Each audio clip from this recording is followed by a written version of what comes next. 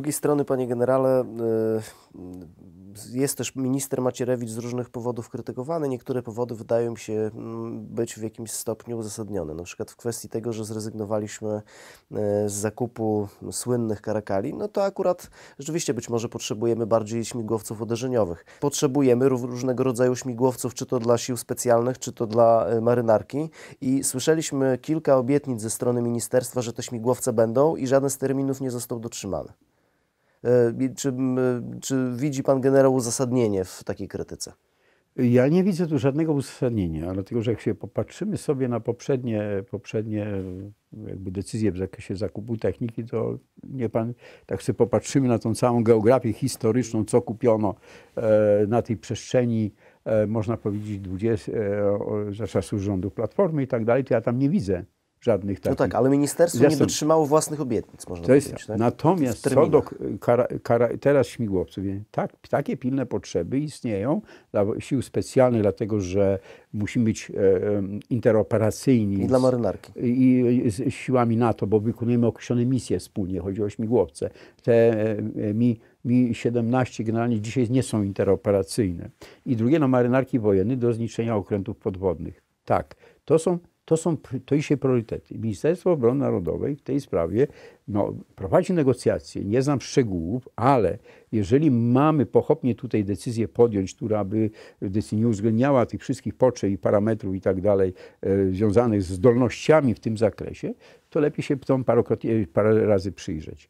Na pewno, rzecz biorąc, bardzo istotne jest to, że Ministerstwo Obrony chce tak podejrzewam i, i, to niejednokrotnie było podkreślane, żeby w tym, tym oprzyrządowaniu tej zapotrzebowania śmigłowce zaistniał nasz przemysł który jest na terenie polskim, mimo że to jest obcy kapitał. Mówię o Świdniku i o, dzisiaj Lockheed Martin kupił przecież Sikorskiego i to i produkują dobre śmigłowce, które mogą być wykorzystane do, do tych rodzajów do tych rodzajów sił zbrojnych, czy marynarki wojennej do jednostek specjalnych, czy zadań specjalnych. I e, na pewno to nastąpi. Ja tutaj nie, nigdy nie jestem zwolennikiem pośpiechu, mimo że, że potrzeby są. E, I, i, I to na pewno myślę, że w tym roku nastąpi. Co do co do, co do, co do e, karakali w ogóle, no karakale tak, to one mogą być wykorzystane jako śmigłowce, te, które no, transportowe do przewozu desantów, logistyka i tak dalej, tak, posiadające dużą jakby powierzchnię załadunkowe, śmigłowce ciężkie. Trudno, żeby te śmigłowce wykony, w jakiś sposób wykorzystywać do e, zadań specjalnych na swoje gabaryty, na, na swoje także e, e, zużycie, ekonomię pola walki i tak dalej, i tak dalej. Jak popatrzymy na oprzyrządowanie e, e śmigłowce e, innych armii, to tam są, jest wiele platform. W zależności od tego, czym jest to dedykowane. No nie chcę dawać przykładu no, bardzo prostego, prymitywnego, jak firma, która dostawia, dostarcza do do, do codziennie bułki do, do sklepów, to kupuje sobie same tiry. No, no ale armia francuska też szczególnie nie kupuje karakali. No ale no, i, no, tak, no. no więc to jest, mówię, to jest coś było za coś. Podejrzewam, że to coś było za coś, może za Mistrale, nie wiem, nie chcę tutaj snuć jakiejś teorii spiskowej, ale to było dla mnie nieracjonalne. To jest z punktu widzenia operacyjnego, z punktu widzenia wojskowego i tak oprzyrządowania pola walki, to jest irracjonalne. To jest po prostu nie, nie, takich rzeczy nigdzie na świecie nie ma. E, drugim takim, e, taką linią krytyki, z którą spotyka się minister Macierewicz, jest ilość od, e, oficerów, która odeszła z wojska. Tutaj pan generał wspominał o generale Różańskim na przykład. I oni oczywiście odchodzą pewnie z różnych powodów, pewnie nie znamy do końca rzeczywistych powodów. Czasami niby z własnej woli, ale może po prostu nie znajdują tam dla siebie miejsca, to trudno powiedzieć. Ale w każdym razie słyszę taki dwugłos, jak rozmawiam z ludźmi armii, nawet z oficerami. E, że z jednej strony jedni mówią tak, super, świetnie, niektórzy używają nawet takiego określenia, że odchodzi stara ubecja, a inni znowuż mówią, no zaraz, ale byłem oficerem, oczywiście, urodziłem się wcześniej, więc byłem oficerem również za EPRL-u, czy byłem żołnierzem za EPRL-u, ale potem służyłem w wolnej Polsce e, i w związku z tym, że mam PESEL taki, jaki mam, to jestem gorszym żołnierzem e, od innych. No, pan generał jest w tej sytuacji, że pan generał również kończył szkoły wojskowe w Związku Radzieckim. I jaka jest pana generała opinia odnośnie tych odejść oficerów? Gdzie, gdzie leży prawda? Jest to zjawisko, zjawisko od, odejścia oficerów przy zmianie ministra obrony narodowej, a też i opcji politycznej, które przyjmują ster, ster Ministerstwem Obrony Narodowej, nie nowe. Może, może różnice dwóch, trzech osób, mniej i tak dalej, czy dziesięciu, ale to nie są żadne różnice. To następowało, jest to następuje dlatego, że po pierwsze e, każdy minister obrony, czy nowy szef sztabu generalnego, czy, bo tak to zawsze odbywało się, czy też nowy dowódca rodzaju sił zbrojnych, chce mieć oficerów, którym, którym zna, którym ufa i którzy się będą tożsamiać z jego, z jego myślą przewodnią, jego strategią, jego wizją tak ministra Macierewicza o obronie terytorialnej, o budowie silnego, silnej, tej, silnej obrony państwa, o, o, o przemyśle obronnym i tak dalej. Więc jeżeli się teraz z tymi e, ktoś nie utożsamiał, lub też wypowiada opinie bardzo negatywne publicznie w różnych miejscach, czy też zajmował stanowisko, to jest istotne też, czyli blokował tego typu działania, czy uczestniczył w procesie e, e, obniżania potencjału e, sił zbrojnych poprzez rozformowanie no, chociażby pierwszej dywizji, no to trudno, żeby nagle teraz zmienił swój pogląd, bo minister się zmienił, no mówi, ja tak ja się utożsamiam z panem ministrem. No to jak on się czuje, czuł będzie w stosunku do swoich podwładnych, który co innego jeszcze pięć minut temu wbijał do głowy. A więc tu już sądzę, że wielu z nich odeszło dlatego, że kierowało się żołnierską godnością i honorem. Dlatego, że no ja nie zgadzałem się, nie zgadzam się z tym, odchodzę. Trudno, że ja był hamulcowym tym przedsięwzięciem. A z drugiej strony minister też nie jest człowiekiem, który przychodzi w ciemno i przyjmuje z dobrodziejstwem inwentarza to wszystko, co jest. No analizuje, e, obserwuje, ma jakąś tam swoją wiedzę. I tą wiedzą chce mieć do realizacji swoich zadań oficerów, generałów, którzy się z tym tożsamiają, którzy będą to realizować przyjawiać, co jest istotne, kreatywność w tym, a nie od kropki do kropki realizować to, co minister każe, nie, nie przejawiam tej kreatywności, bo to takie typowo wymuszone jest za wszelką cenę. To jest niedopuszczalne. I to ma miejsce w innych armiach. Może ono nie ma takiego charakteru, dlatego że my jesteśmy.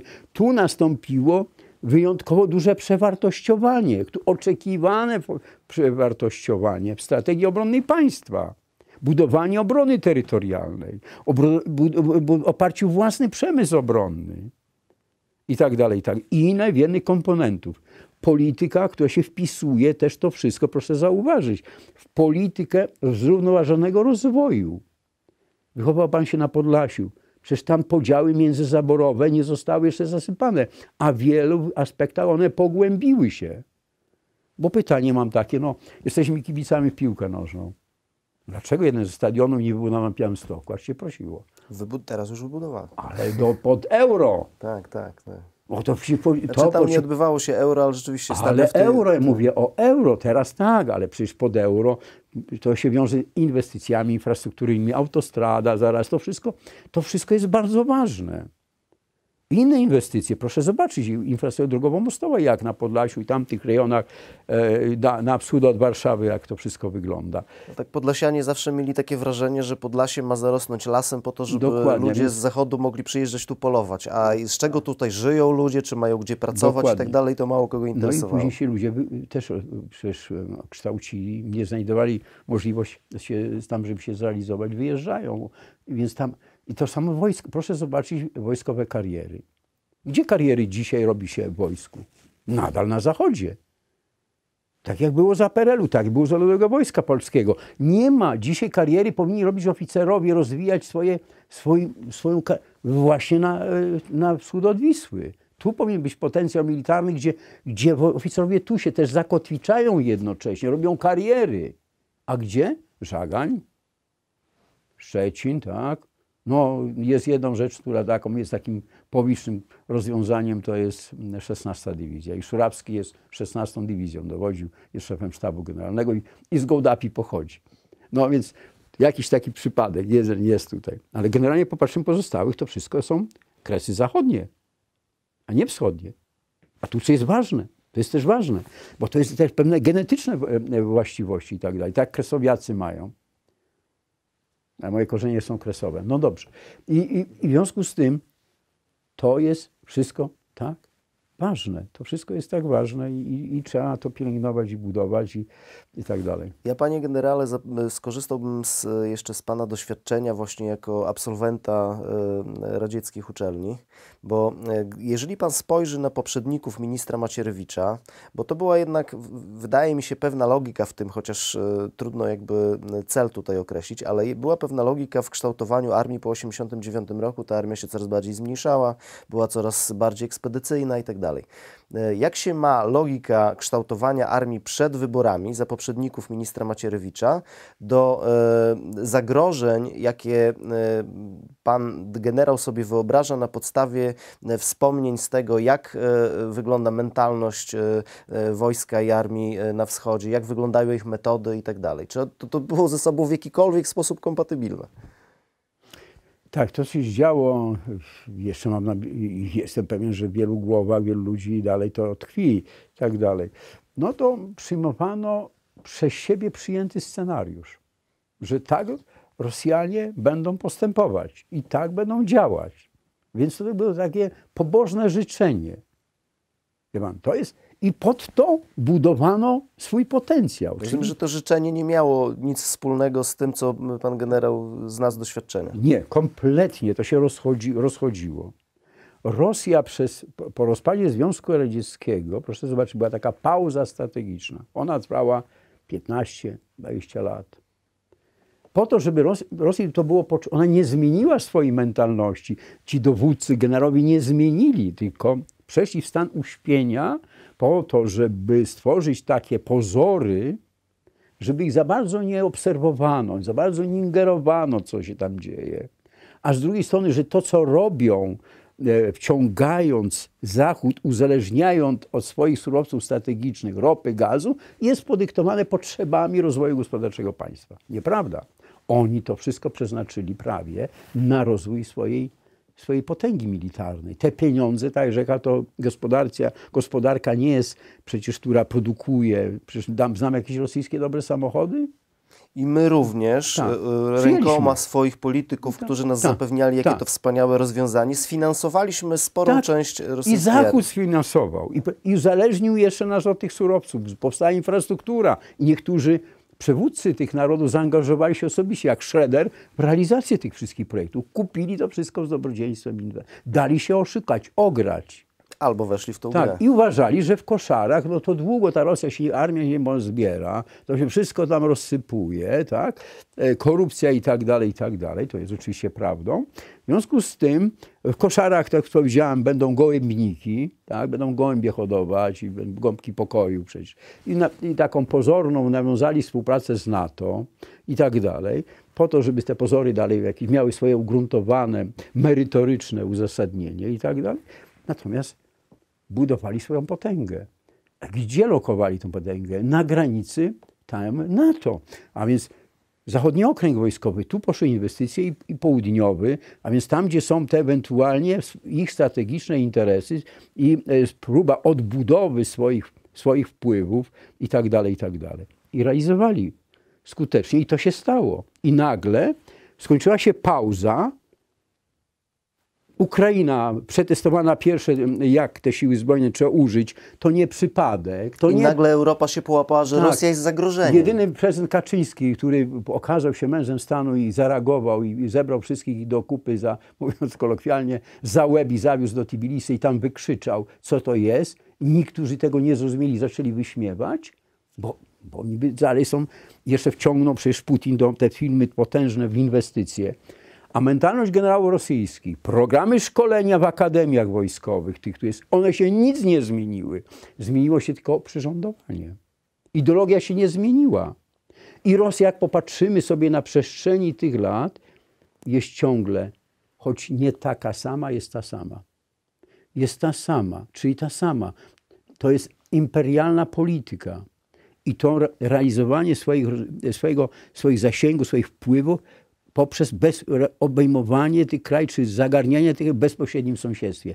Ona nie kolonizowała Afryki tam i tak dalej, tylko tu. I tak budowała po swój potencjał i buduje.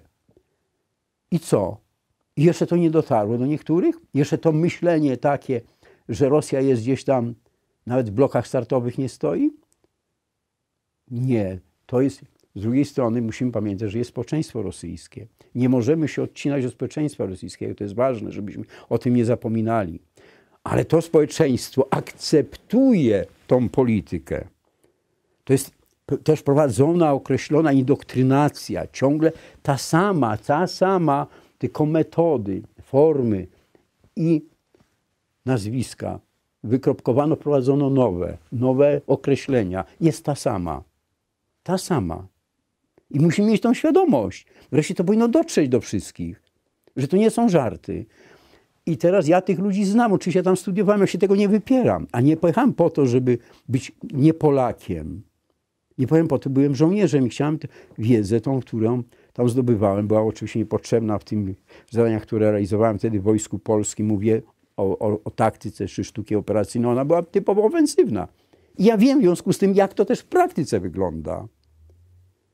I, to, i, I ja, proszę bardzo, jestem gotów się w każdej dzielić. I to jest ten duży kapitał tej wiedzy praktycznej, wojskowej, której i jej konfrontacji z potrzebami państwa dzisiaj. Ja widzę, to co mi się dzieje, to jest przeraża mnie, jaka jest po prostu głupota, jaka jest nieodpowiedzialność w stosunku do tego, co tam się dzieje, jaka jest mentalność tych ludzi.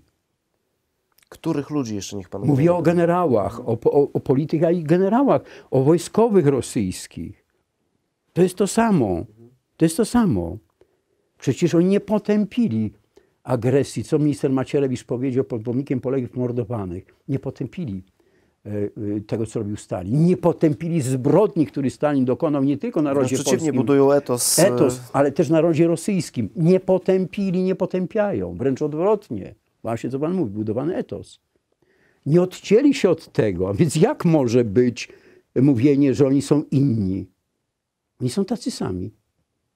Pan generał mówi też o e, więc, takim... Tak, proszę panie generał. I, I, to trzeba ostro o tym mówić, trzeba to, o tym mówić. Jeżeli teraz ktoś to e, wyciąga i to były minister obrony jako argument, tak? Mówi pan e, walce, generał o ministrze Siemoniaku. W walce z ministrem e, obrony narodu, obecnym ministrem Macierewiczem, to on źle, on to po prostu działa przeciwko Polsce. On to, on to robi. Nie wiem, czy nieświadom, a nieświadom to nie powinien zajmować takich stanowisk, jak zajmował i zajmuje nadal. A jak świadom, to tym bardziej. To tym bardziej. To tym bardziej. No to jest, to jest pytanie, to jest przerażające. Jeszcze sięga po mnie, ja to nazwałem jednym z Twitterów, że sięgnął po dosyć zużytą i przeterminowaną amunicję, czy przeterminowaną amunicję. No, no to jest podłe, tym bardziej, że moje wystąpienie pod pomnikiem poległych mordowana mówiło o potrzebie właśnie budowy obrony państwa.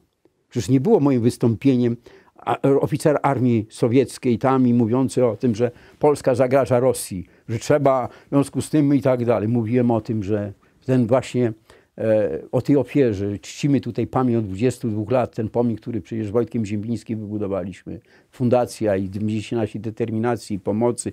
No, to wspaniały człowiek i tak. No, to, jest to człowiek, którym nigdy nie zapomnę i, i ciągle go wspominam i tak dalej. Takich ludzi by się chciało mieć y, no, na co dzień, i żeby, żeby potrafić tak patrzeć na Do pomnika jeszcze wrócimy. Ale tak.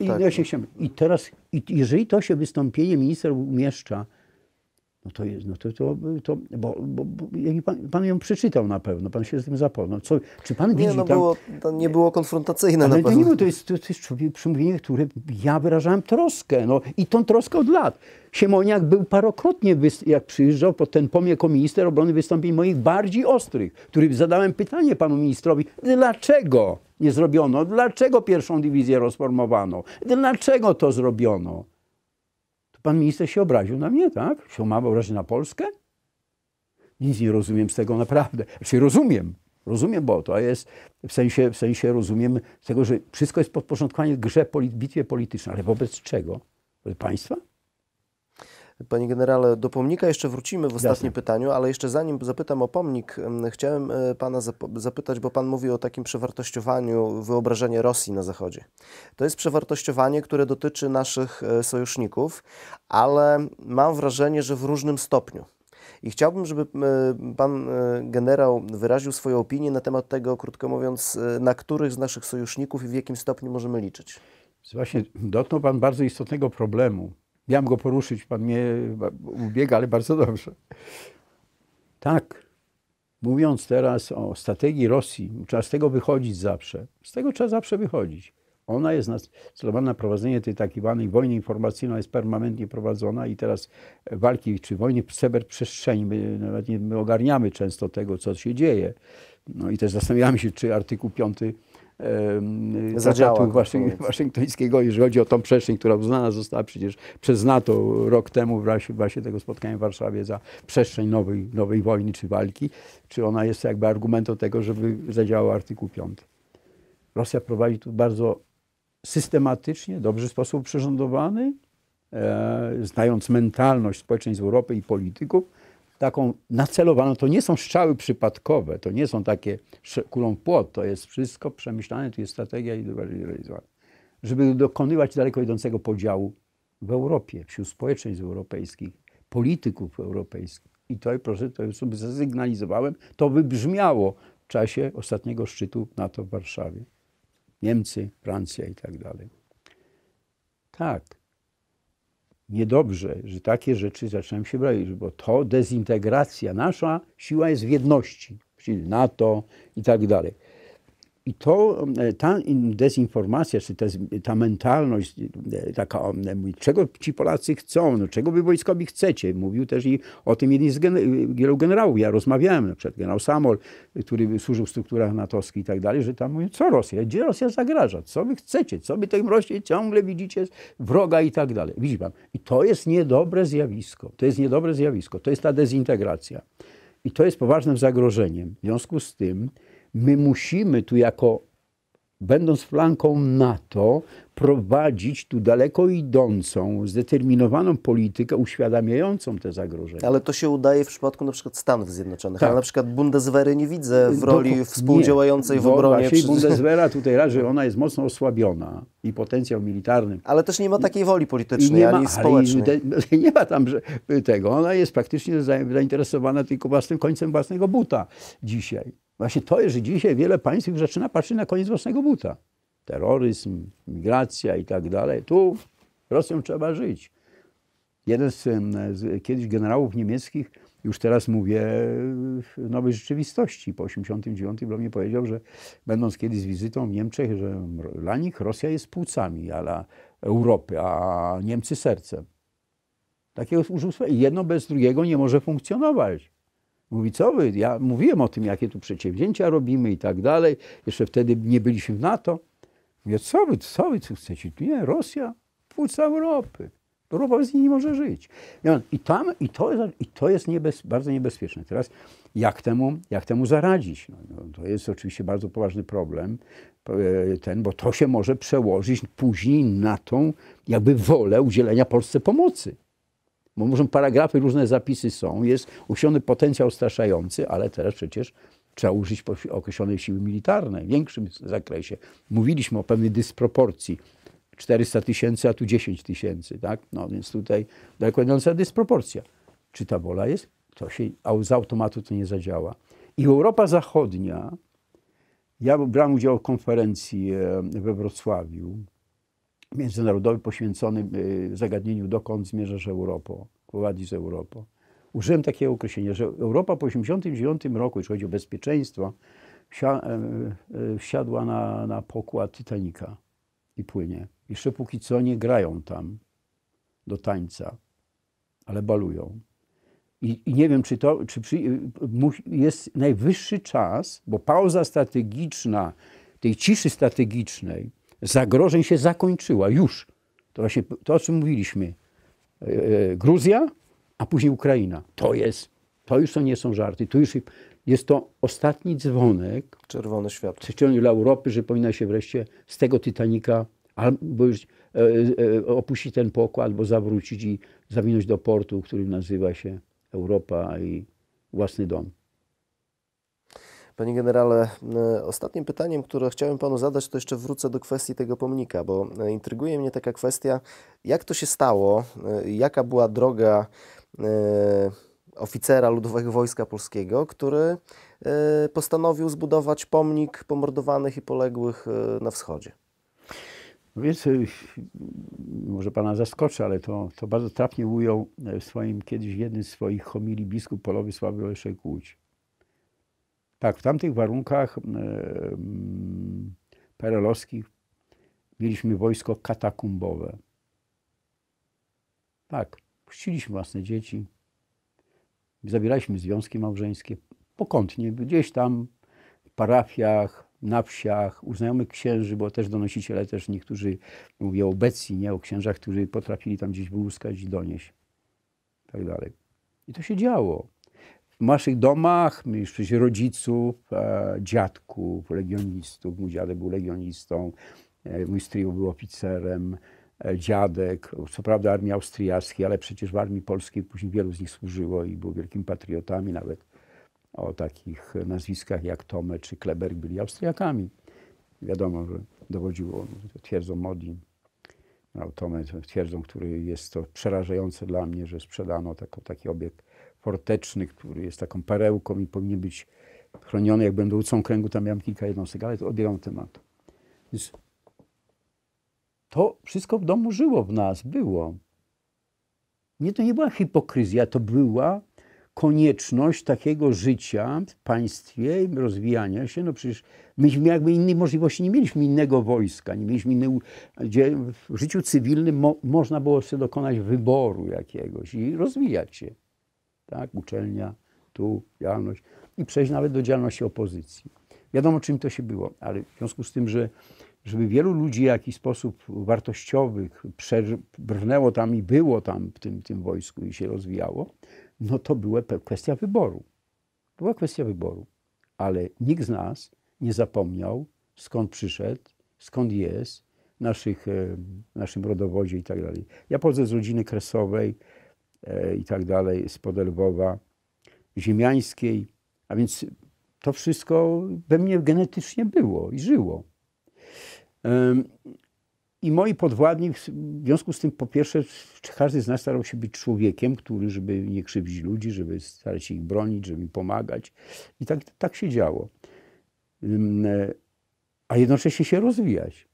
I takie możliwości były. Ja wyrastałem w pionie dowódczym. Ja nie byłem oficerem politycznym, a chociaż z klucza musiałem się zapisać do partii i to nastąpiło dopiero późno, bo zostałem wezwany przez dowódcę jednostki i powiedział do mnie, ty jesteś zdolnym oficerem, ale wiesz, jak się do partii zapiszesz, to, to, to niczego nie będzie. To, to, to było praktycznie 90% czy 99% żołnierzy było wtedy zawodowych w wojsku. No, no to, to była taka, jakby można by powiedzieć, zobowiązanie. W partii. Tak, partii, partii, przepraszam.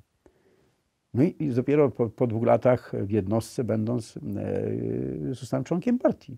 W szkole oficerskim się nie zapisałem do, do partii, do tego. Zresztą do szkoły oficerskiej poszedłem wbrew woli swego ojca, i, który mi się wyrzekł prawie, że i nie przyjechał na przysięgę, bo, bo sam był lat 50., dlatego że nie przekazał swojego gospodarstwa e, rolnego do kołchozu, aresztowany przez ubecję i pamiętam tą scenę, jak moja mama e, krzyczy, starszy przeraźliwy głos, jak go aresztują, wyprowadzałem, byłem małym chłopcem i to nie jest. Ale to nie, żebym ja się tutaj usprawiedliwiał, czy jakiś, e, jakiś tutaj wzbudzał litość, czy też jakąś, jakiś szacunek, to nie w tym rzecz. Są nasze skomplikowane drogi. Jesteśmy takim pokoleniem, które przyszło żyć tak i, i, i trafić nową rzeczywistość. I ta rzeczywistość, jak się stworzyła, otworzyła się przestrzeń. To moją takim powie, po, po, e, wewnętrznym zapotrzebowaniem, potrzebą, troską, to nie była potrzeba, że to mi pomoże w karierze, bo Wielu z nich, wielu z moich, że niewielu, ale było sporo kolegów, którzy nie zweryfikowały swoich postaw. Nie zweryfikowały i nadal byli. Jakoś nie zaszkodziło im to wszystko i nie pomogło. Tak? I tak dalej. Można przykładów wiele, ja nie w tym, żebym ja tutaj dzisiaj wydawał opinię. Przejmę się tu w Warszawie, jako dowódca okręgu warszawskiego, dowódca garnizonu, i wydawało mi się, że mam teraz otwartą przestrzeń, że mi wszystko wolno. Żeby się otworzyć na, tą, na, na te środowiska, które były zapomniane, które były nieoceniane, szkalowane i, i w jakiś sposób dyskredytowane, więzione żołnierzy Armii Krajowej, wyklętych. I pierwsze co robię? Robię duże spotkanie w twierdzy Modlin. Właśnie tych ludzi. Ja mam to dzisiaj na wideo, nagranie, to, to mi tego nikt nie odbierze. Niech oni tam sobie mówią, co chcą. Ale tam były złe wzruszenia i tak dalej. I powiedziałem do nich, ja, to jest, my wychodzimy z katakumb, my chcemy Ja zrobię wszystko, żeby wam pomóc. I tam spotkałem Wojtka Ziembińskiego. Z którym później razem budowaliście ten pomysł. I on o tej idei mi powiedział, że jest taki pomysł, to był komitet, do którego należał Jan Olszewski, Antoni Macierewicz, Bronisław Komorowski, Szeremietiew, to tam jeszcze, Siła Nowicki, możemy tu nazwisk wymieniać wiele. Obóz patriotyczny. I pokazał mi to, y, tą, tą makietę podziemia kościoła Świętego Krzyża w Warszawie. Minister obrony nie wiedział o tym, że ja się podjąłem tego wszystkiego. To było tak, można mówić, że ściśle tajne, ale wiedział chyba później Komorowski. Ale, ale minister Kołodziejczyk o tym nie wiedział. I podjęliśmy tą decyzję, że to zrobić. Ale przecież to nie było takie łatwe. Przecież jeszcze w wszelkich miejscach byli ci, którzy, prawda o Katyniu, To była- było po 89 dziewiątym roku, roku, natomiast 90 no, te rok. przemiany w wojsku ale nie to następowały tak szybko. automatycznie, to już nic się nie działo. Jeszcze Jaruzelski funkcjonował, bardzo silne wpływy miał, jeszcze Kiszczak No jeszcze do śmierci miał całkiem i, i wiele, wiele, no nie będę mówił, później kiedyś porozmawiamy sobie na oddzielny temat, co powiedział o mnie, tak, kiedy zapytano, czy mogę być szefem sztabu generalnego, ale to tak. A proszę powiedzieć. Ale nie, no, no to innym będzie razem. Komornicki? E, ona zdradził. Tak, tak. Także, to, no dobra, mniejsza o to. W każdym razie z Wojtkiem podjęliśmy wysiłek. To nie był łatwy. Ja dałem do dyspozycji pracowników, dałem część kadry, która podjęła tą, to wyzwanie. Się utożsamiła. Do dzisiaj pani, która była księgową, przychodzi pod ten pomnik, ona wspomina te czasy. I wspominamy i się łza w boku kręci. I, I wybraliśmy ten projekt biskupski, Maksymilian. Oj, też ciężki przypadek, taki człowiek, który ciągle napiera, ja ciągnę telefony, panie generale, tu mnie zaatakowali, tu mnie pobili ubecy, daj pan mi ochronę, no więc takie rzeczy się działy. Lokalizacja pierwsza była na Placu Dąbrowskiego, bo wystąpiliśmy do władz Warszawy, zmieniona niespodziewanie. Czekaliśmy znowu. Kolejna na e, tutaj Karowej, na, tej, na tym, gdzie dzisiaj siedziba Bebenu jest. Tam była kolejna. Nie wytrzymałem i mówię do Wojtka, Wojtek mówi, ja miejsce widzę, ja mówię gdzie? Przy Placu Lubomirskich, Pałacu Lubomirskich, Plac Żelaznej Bramy 10. I tam był przecież klub oficerski. Tam był, e, ten obiekt był kiedyś własnością wojska. No i ja pojechałem. Nie miałem świadomości, że tam stoi pomnik utwarczy władzy ludowej. Ostatni pomnik PRL-u. Monstrualny taki. Byłem przerażony. Ja nigdy w Warszawie nie służyłem. Nie byłem zdemoralizowany przez warszawskie instytucje wojskowe. Przyjechałem tam, stanąłem na tych schodach. Pytam kierownika klubu, co to za pomnik. On mówi, pomnik utwarczy władzy. A Wojtek mi powiedział, tylko chciałem, jak się użył hasła dokładnie utwarczy władzy ludowej. Patrzyłem na niego, mówię, panie majorze, czy to nie obraza dla tego pałacu? Generał mnie prowokuje, dlaczego miał mieć problem z odpowiedzią. Widzę, że przerażony patrzy na mnie, oczym przewra- przewraca. Mówię, to jest, to wie pan, to jest, to jest straszne, że w tym sąsiedztwie tego pałacu, takiej historii, że tu przed wojną wojsko to zostało w darze, takie monstrualne tutaj potwór stoi. On zbaraniał. No i później wezwałem szefa służby zakładania budownictwa, jednego pułkownika i mówię do niego, dziesięciu żołnierzy, kombinezony, noc do dyspozycji, rano przyjeżdżam, pomnika nie widzę, jasne? Więc on też zbaraniał i mówi do mnie, poproszę rozkaz o piśmie. Ja mówię, dostaniecie jutro ten rozkaz ode mnie, ale uwolnieniu was ze stanowiska, jak tego zadania nie wykonacie, jasne? I pojechałem. Na Cytadelę, na drugi dzień przyjechałem, no i zaczęła się burza. Minister do mnie zadzwonił, mówi, użył krótki żołnierski, to coś ty tam znowu narozrabiał, bo to był pierwszy przypadek. O kiedyś opowiadam, opowiadamy sobie innych przypadkach. Jeść tam, a tu jest dziennikarze, Jaruzelski, Kiszczak, Łębo mi co ty jesteś, skąd ty jesteś, co ty za jeden, kogo ja sobie do tej Warszawy wziąłem. No zaczęła się jazda straszna. Pojechałem. Faktycznie, ziemi tylko zbrojenie wystawało. Nie było pułkownika, porucznik dowodził. Dziennikarze jacyś tam sitkami biegają do mnie, że czy to jest przestępstwo, bo rozebrałem bez zgody. Okazało się, to na gruncie miejskim stało. To już na ewidencji było. To trzeba mieć pozwolenie, tak jak na budowę. Na rozbiórkę takie same pozwolenie. No i mi tam straszono prokuratorem. No i wtedy profesor Chrzanowski mnie uratował życie, był ministrem sprawiedliwości, sprawa została tam w jakiś sposób załatwiona pozytywnie i tak dalej. W każdym razie tak, takie było spotkanie. To, czy inaczej mówiąc, to była moja, to była, e, jeżeli chodzi o pomnik, to była moja wewnętrzna potrzeba, potrzeba też, mnie, a z drugiej strony pokazanie swoim podwładnym, że my musi, y, jesteśmy zobowiązani wyjść e, z tego wszystkiego ostatecznie tych katakumb i, i, i wojsko to odrodzające się, rzeczywiście wracać do tradycji, do korzeni i upamiętać tego typu rzeczy i dać temu dobry przykład w sercu Warszawy. No i e, po tym e, nie, nie wyrażano mi zgody na, na budowę tego pomnika na placu. W związku z tym co zrobiłem? Wykonaliśmy w Brygadzie Saperów w skali 1 do 1 pomnik, ten pomnik z drewna. I postawiliśmy na placu, w tym miejscu, gdzie, gdzie ten ubecki pomnik, stał. I chcę powiedzieć, że, że też nie wyrażam o zgodę, to Urban tam pisał swoimi, że o, tam różnych epitetów używał, że taki pomnik wędrujący z drewna i tak dalej. Jak drżmały. Dokładnie. No i ostatecznie taki można powiedzieć, a pomnik robiliśmy, cały czas robiliśmy te elementy Puszczy Mariańskiej, tam właśnie składnicy wojskowi, tam to było miejsce, gdzie ten rzeźbiarz pracował, tam było to gromadzone, podkłady, te krzyże, ten, uzyskaliśmy wagon od dyrekcji generalnej PKP, poprosiłem, wystąpiłem, dostaliśmy ten wagon. Oczywiście dzięki Wojtkowi, gdyby nie Wojtek, ten pomnik nie powstał. On był takim motorem tego wszystkiego. On mnie ciągle też, spotykaliśmy się u niego tam w domu, w sadach żoliborskich i tak dalej, i tak dalej. Jeszcze był Stefan Melach, świętej pamięci, ten co zginął w katastrofie smoleńskiej. Szkoda, że nie ma. To też bardzo się zaprzyjaźniliśmy wtedy i tak dalej. I spotykaliśmy się. Y, zresztą pierwszy dębowy krzyż, on był w tej ekipie, które wysłałem. Ten pierwszy dębowy krzyż to jest też krzyż, który ode mnie w Brygadzie Saperów został zrobiony i przemycony przez granicę. Nie będę opowiadał już dzisiaj jak, bo nie ma czasu. To jest też historia. Czy ja nigdy się nigdy, po raz pierwszy to mówię publicznie, nigdy się tym nie chwaliłem, nigdy nie mówiłem, nie chwaliłem. No nie mówiłem o tym, co jest faktem, co jest taką dosyć istotną naszą jakoś tam historią o tym wszystkim. I tak, to mi było potrzebne, ale też było mi potrzebne tego, żeby ojciec mi ostatecznie wybaczył, że poszedłem do Ludowego Wojska Polskiego, bo ojciec nie do końca się z tym zgodził. I, I, tak się stało. Mógł, długo jeszcze żył i mogłem też jakoś tak, mam czyste sumienie.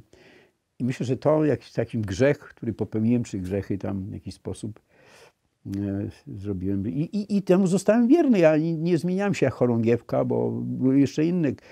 Krzyż ten, nie pomnik ten, który na, na skarpie jest przy kościele świętej Katarzyny. Te, te kamienie, ten z kratą przerwane, poświęcone zbrodniom stalinowskim wykonany przez y, proboszcza księdza Maja, to też kamienie z Mazur przeze mnie przywiezione. To też tam byłem, zaangażowaliśmy w tym byłem wszystkim. I tak dalej, i tak dalej. Słowem, no taka jest nasza, taki i z tego trudno, ja na klatę to przyjmuję, w czasie jesteśmy, żyjemy takim, jakim żyjemy, żyło mi i przyszło żyć, jakim żyło, że to jest wykorzystywane w sposób taki, no, no, prymitywny przez tych ludzi do walki politycznej przeciwko mnie, no to tylko można ubolewać, no co zrobić. Nie, nie chcę, najchętniej bym jakby był, obowiązywał kodeks Boziewicza, już jednego pana wyzwałem na pojedynek, bym popcinał uszy, ale no niestety to, to chociaż jestem człowiekiem, który, którego odwaga umiera ostatnia. Dziękuję panie generale za rozmowę. E, dziękuję Państwu. Naszym gościem był generał Leon Komornicki i do zobaczenia w przyszłym programie.